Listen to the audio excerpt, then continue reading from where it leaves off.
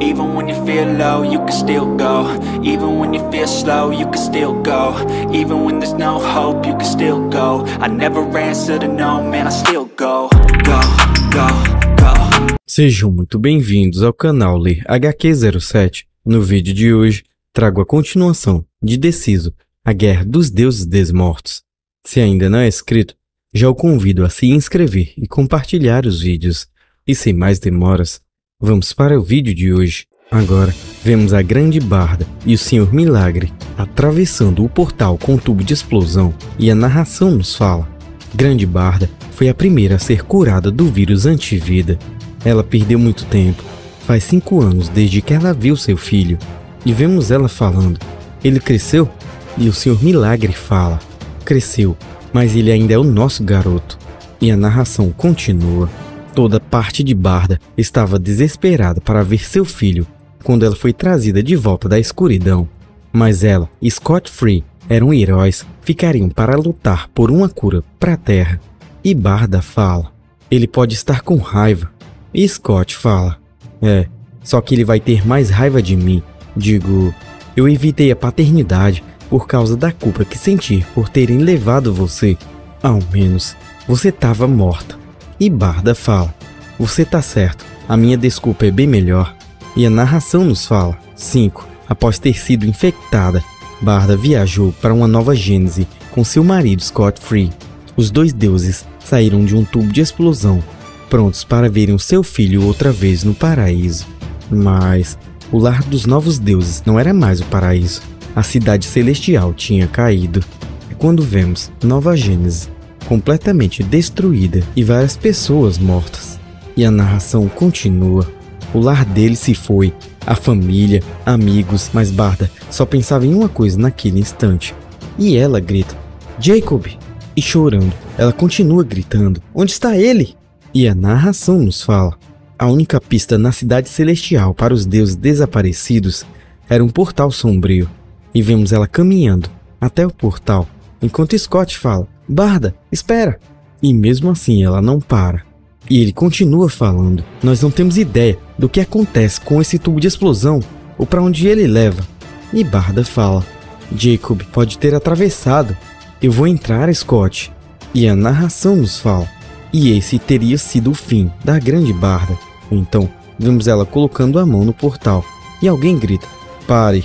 E vemos o corredor negro puxando ela dali. E quando vemos que a carne de sua mão foi completamente apodrecida e vemos apenas os ossos de seus dedos.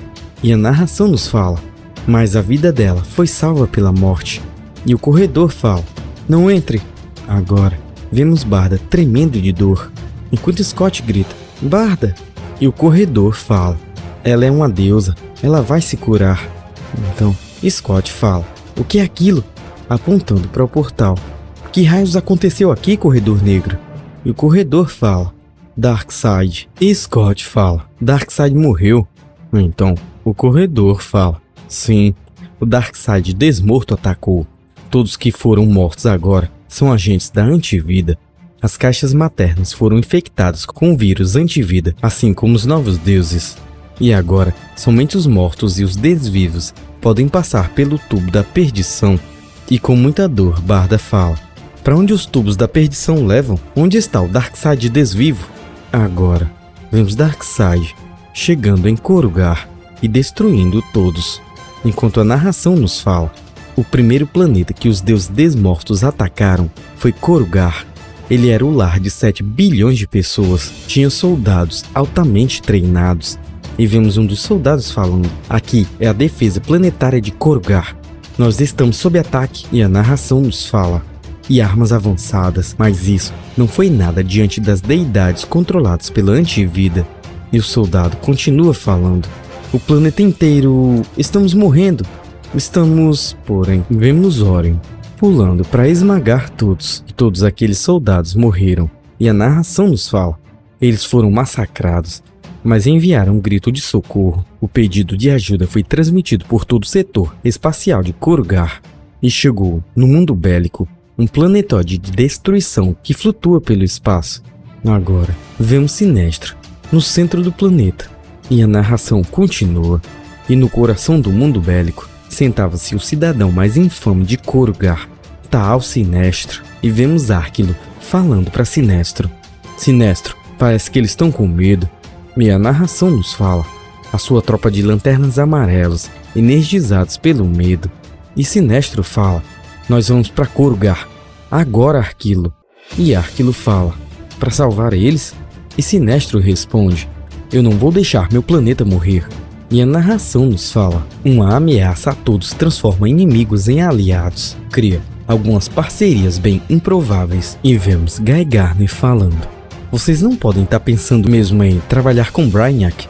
Vocês sabem quantos planetas ele já destruiu? E olhando para Superman, ele fala: Como alguém que vive trocando os pés pelas mãos, eu não sou fã da cultura do cancelamento, mas até eu acho uma má ideia a gente se associar com o genocida galáctico. E Superman fala: Você sabe que ele tá bem aqui? E Guy fala: E daí? Eu devia me preocupar em magoar os sentimentos de um super vilão, matador de planetas? E Brainiac, segurando um planeta em sua mão, fala: Eu conheço a hesitação e desconfiança. E ele entrega Superman enquanto fala: Eu lhes ofereço isso como mostra de boa fé. É Kandor. E Superman fala: A última cidade sobrevivente de Krypton e sorrindo, Batman fala: E por que está abrindo mão disso, Brainiac? E Brainiac fala: Eu coleto conhecimento. Se o universo morrer, o conhecimento morre junto. Apesar do considerável poder ao meu dispor, o Darkseid desmorto me rasgou ao meio. Eu quase não escapei do ataque. A menos que vocês possam deter eles, os deuses desmortos irão espalhar a equação antivida através das estrelas. O universo irá acabar. E Guy fala: e como você sabe que o universo vai acabar? E Brainiac fala: Eu sou inteligência de nível 9. E Guy fala: Inteligência de nível 9?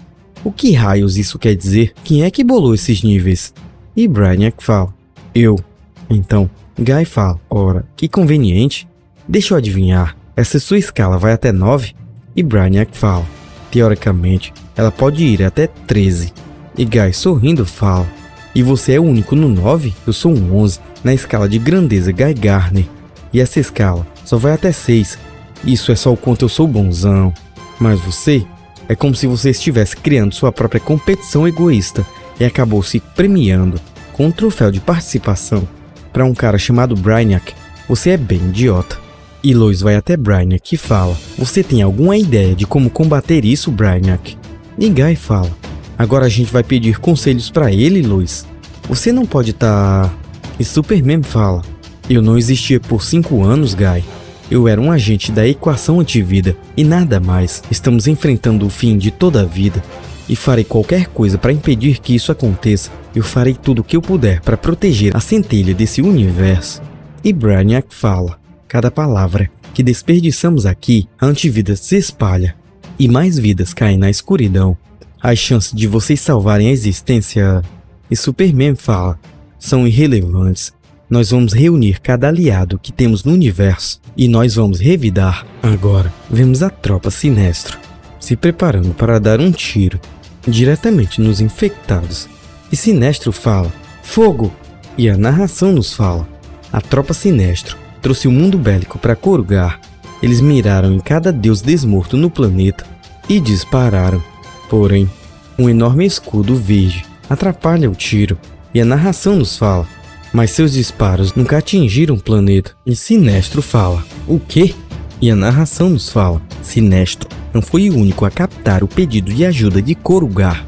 Dois grandes lanternas verdes também captaram o pedido.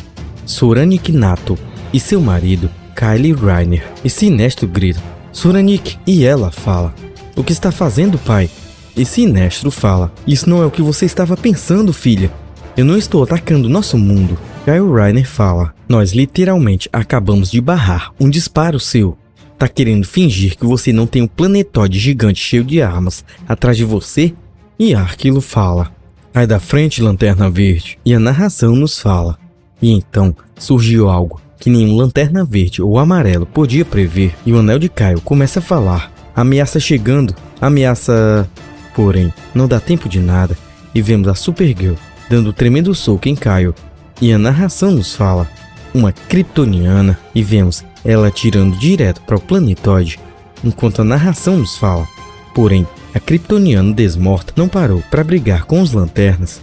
A equação antivida tinha em vista algo bem maior. O vírus tecno-orgânico se anexou e infectou o maior e mais destrutivo computador da galáxia. Então, vemos a Supergirl enfincando uma caixa materna infectada no planetoide. Logo, vemos o planetoide completamente dominado e a narração nos fala: ele tomou o um mundo bélico. E Arquilo fala: ah, droga! Então, vemos que o planeta atira diretamente em Arquilo, o fazendo em pedaços, e ele continua atirando em todos que estavam ali, enquanto Soranik vai até Kyle desacordado e ela fala: Kylo, Kyle, consegue me ouvir? Ela quase é atingida, mas seu pai a defende, enquanto Sinestro fala: Soranik, atenção, Darkseid chegou! E Soranik fala: Darkseid? Então, vemos o enorme Darkseid desmorto. E Sinestro fala: Não se contenha, use tudo, nós temos que destruí-lo. E eles usam o poder do Lanterna Verde contra os poderes dos raios ômegas de Darkseid. E a narração nos fala: o Darkseid desmorto foi solto. Por um momento, tudo estava em equilíbrio, os raios ômega de um deus contra o medo e a força de vontade de um pai e filha. Então, o equilíbrio foi rompido e vemos que a Supergirl dá uma tremenda pancada nos dois. Supergirl continua matando mais e mais lanternas amarelos. E Soranik fala: Sinestro! Mas não dá tempo de mais nada. E Sinestro é pego por Darkseid desmorto. Soranik grita: Pai! E Sinestro fala: Fuja, por favor, eu preciso que você viva, filha. Só você pode libertar Korugar. Mas ele não tem tempo de falar mais nada. Darkseid arranca sua cabeça. E assim, foi o fim de Sinestro, o Lanterna Amarela. Soranik grita: Não! E Caio fala: Soranik, não dá pra gente deter isso sozinho. Precisamos de reforços.